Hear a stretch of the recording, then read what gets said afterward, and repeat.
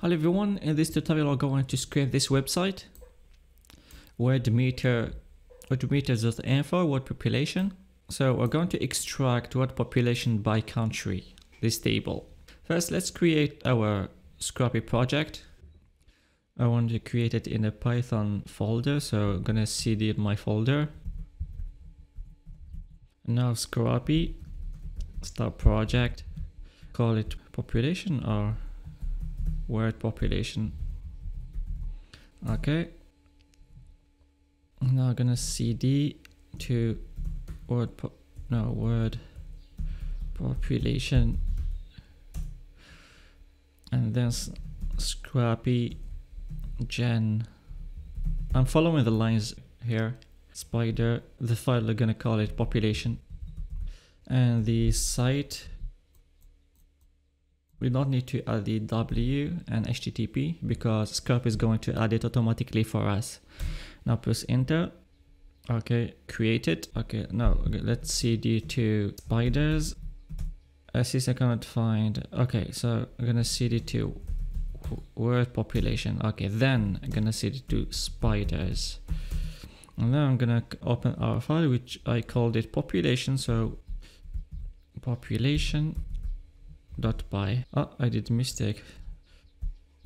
Okay now it's opened. Okay now we're going to use as before writing any code we're going to use Scrapy shell. So cls Scrapy shell uh, so we're going to use com scrapy command prompt in order to test our css selectors Okay, now let's press Ctrl Shift C or you can right click and then click on expect. First, it doesn't matter, just click inside the title and go back until you get, you get the entire the entire table. Okay, I can see that it's inside the ID pop by country. Okay, gonna use this, press Ctrl F to open this. Uh, so, but when there is a class, we dot dot, we put a dot, we write a dot at the beginning. But when it's an ID, we put a hashtag.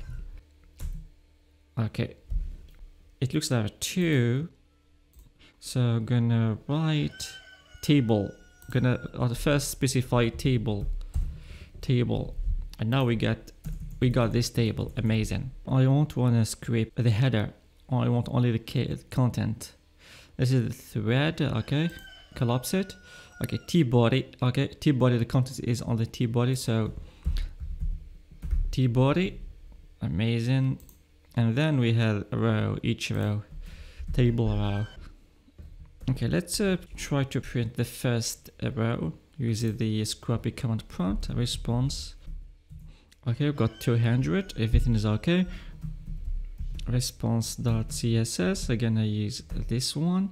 And try to do text. What I'm going to get what I'm going to get get no I'm not going to get anything if you do text.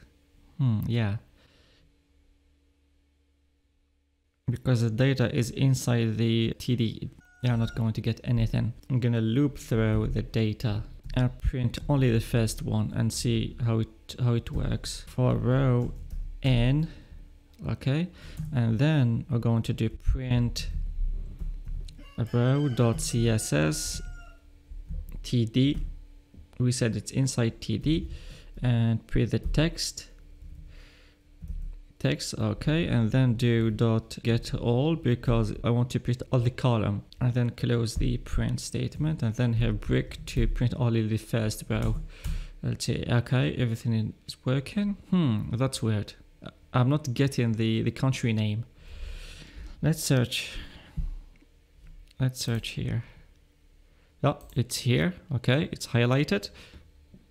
It looks like it's not inside the TD. Ah, it's inside the A. Instead of get, you're gonna do a get all, you're gonna do get and also specify A here. Let's try to print. I'm gonna use two CSS selectors. This one to extract uh, those values and uh, the second one to extract the country name. Now let's go to coding. As in the script is L, so I'm gonna loop. And we're getting here all the data. row.css td text dot get. Now we have a list of all our data. Okay, uh, we need the country. Country is equal to row.css and we said it's inside the td and then the a. And we want to get the text dot get first item. Okay now i want to access this value so this is uh with population? Population. Okay it's at index one. Going to, yield it straight away. Population equal to colon data index one. And then let's get so gonna do this yearly change. Yearly change colon and then data uh, yearly change is at index 2 okay that's it. Now we can uh, we need to change this website here. Okay now if we do exit and make sure that uh, you are inside these spiders scrapy crawl and then file it's called population population and then we're gonna save it into a csv file. Let's call it output.csv and I'm gonna try to run our code let's see if there is a problem. Yearly change. Ah yeah I forgot to come right here okay it looks it's working. Uh, item scraped 235 and here we have 235 amazing. Let's see our folder. Okay here is our folder. Let's get inside as you can see you get the entire data. We forgot something interesting. We forgot the country. Yeah country. Country name colon country. And now let's run again. Go to the output again. Okay good job. So now what we are going to do is uh, getting inside this website the link you know as you can see there is a, a site get inside each country and then we're going to extract this this table population of China. You know each country population this table from 2020 to 1960 but first what we need to do is extract the links. Try to extract the links. Okay, we're going to go back to Scrapy Shell, Scrapy Shell, and then paste the link and try to access the link here, Control C. I think it's going to be the same as earlier as the country, except we're going to use the href attribute. Let's go here and we're going to copy all of this, paste it here. Uh, one, two, three, four. Oh, I don't need even this. I don't need this. Let's remove it. I need four spaces let's call it link or gonna print it to see if it works if the link works so row.css and then td and then a and then instead of text you're gonna uh, write attribute attr and then open parenthesis a single quote href single quote and in parenthesis. And then we close with double parenthesis dot get. And then break because we want to get first item to see if it works Okay, yeah, we don't, we didn't get the folic, but it doesn't matter. We're going to use the uh, URL join to create an entire URL. Okay, it works. I'm going to use it. And here I'm going to comment this and I'm not going to yield it. I'm going to do yield response dot follow and here the URL is equal is, is going to be to get the link let's call it link. Okay. So what we're going to do is a response dot url join and inside gonna put a link. So it's going to add the beginning https and wordmeter.env automatically for us. And here comma and go back to the line. I need here a callback because we're going to create another method to do extraction for the next page. I'm going to call it self country data. Let's go that way. And then we're going to use a third parameter called meta. Meta is going to be inside the dictionary. We're gonna get the the country name because we want to take the countries to the country data method. So to do that, we're going to do we're going to country colon country, and you will see how we go we're going to unpack it. So def and here let's create country data. It requires self and then a response First, let's, let's uh, unpack the country. So country is called response dot meta and then country. So now the countries are available inside this country data. This is the way to, to move data between methods. And then here are going to inside this link and try to extract the table. So control shift C, let's go back. It's inside table responsive. It's a class. So dot table responsive. Oh, it looks like there are three tables here. Okay, any specifics about this table? Table list at the end is table list. So table list we're still using, there are three tables highlighted, but we want only this table. Three tables with the same class. You know what I'm going to do? There is a, an extension called selectors gadget. So when I'm in stock, I always use it to help me get the table that I want. As you can see, it's highlighted here and I click uh, the red means uh, don't take it. So I don't want this table. Okay, so now it should be only this table highlighted. So this is the uh, selector. Okay, table responsive, colon nth child 7. Okay, let's paste it here.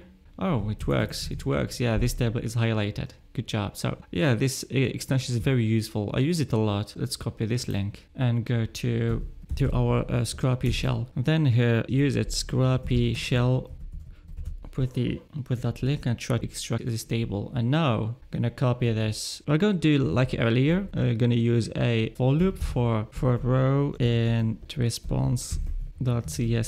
Paste it. Okay. And now print row.css. So t-thread. What is the data? Ah, oh, the data is inside the t-body. Okay, let's add it. T-body. And then table row. Table row. Yes. Okay, gonna add t-body and table row here. T-body and table row. And now we're gonna access the TD table data. And then we're gonna get the text dot get all. And let's see if it works. We're gonna get the first row, so we're gonna break it. Okay, it works. And here we're gonna get only the year, yearly change, and population. Can do the rest if you want, but just to show you how to, to script the, this table and how to follow pages. Let's go to the card now. So for, can we copy it? Do it like earlier, copy. And here, let's call it data. And now let's do population is equal to, no, instead we're gonna yield it straight away. Population, colon, data, uh, so population is, is at index 0, 1, 2. It's on index 2. Uh, we're not going to forget the comma like earlier. And then uh, yearly change is at index 1. And then I'm gonna do the year is at index 0, data index 0. Uh, we shouldn't forget to, to get the country. So country, country name, country. Okay, now it should work. We're gonna try it. If there is a mistake, we'll see what's the problem. I'm gonna exit and so we're gonna do uppercase O and then output dot .csv. Let's run invalid syntax self dot response. Where is it? Where is it? So oh yeah, not dot comma. Oh yeah, I forgot the, the file population. Oh, it looks it's working. Uh, yeah, it's working. Let's extract the data. Okay, we have 3600 item. Okay, and now if we go to our folder, I can see our file already 112 kilobyte. Okay, let's open it a bit here yeah, you can use the filter and select any any country here, can get the data. Okay, everything is okay. We extracted the table successfully. And that's how we follow pages.